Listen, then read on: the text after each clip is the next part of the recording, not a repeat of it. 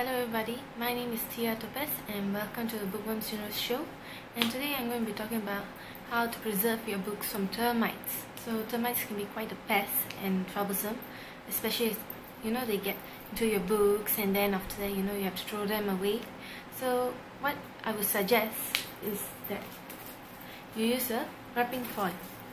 You see this one my oldest books and I use a kitchen wrapping foil and I've been using it over more than 12 years. So can you see? So roughly how the book will look like uh, change color and then you know you get brown spots. So this book is from year 2004 so I since then it's been wrapped up this one of the books.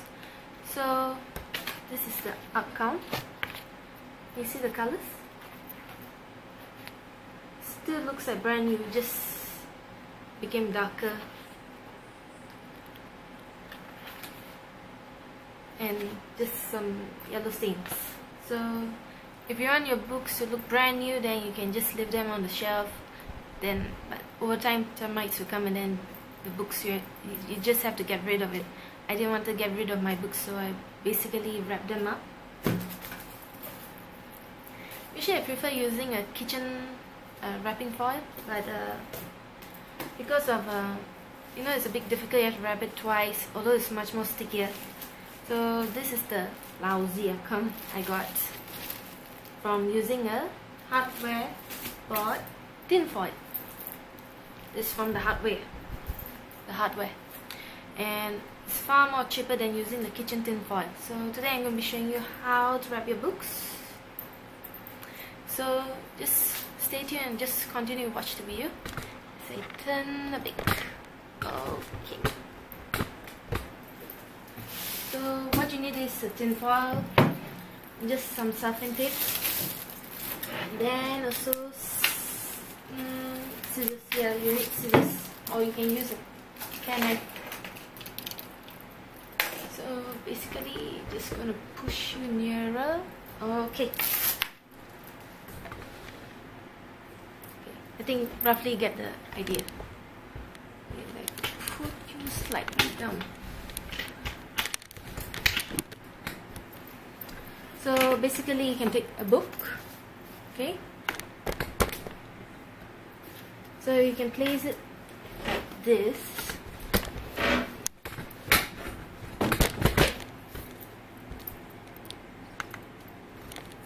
So you basically place your book like this see and then you just wrap it up like this.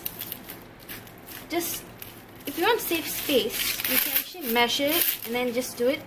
So roughly if I let's say I just want to around this size. So what I can do is I do this.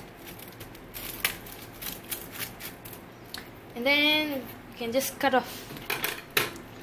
But for this book and to do something like this. You see? You just put one end and just roughly estimate here. So you basically just cut this over here.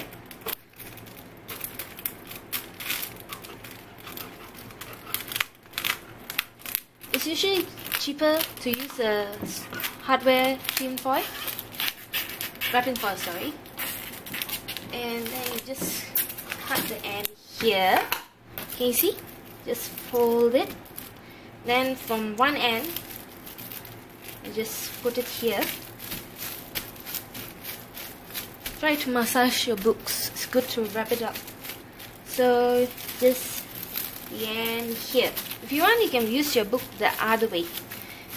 You know you can wrap it up so that way you can see the cover much more clearly that's behind. Sure I done that.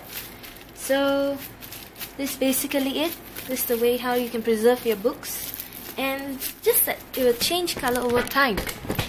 And then still, you can still read it. You can keep it forever. No hopefully you can keep it forever. So far that's it.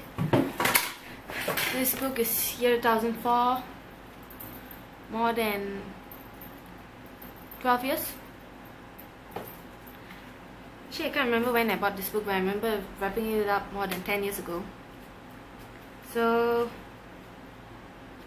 that's it. So, I hope you enjoyed the video. I wish I could make a better one, but uh, also, yeah, one of the reasons why I bought the big tin foil, because usually big books like this, it's usually hard to wrap them up.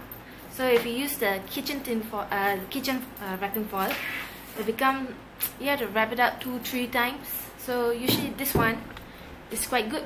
You see, it's useful. You just have to take a big one and just have to put here.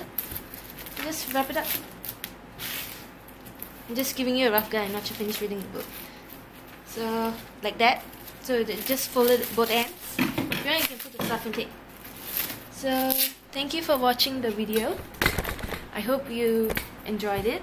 So uh, take care.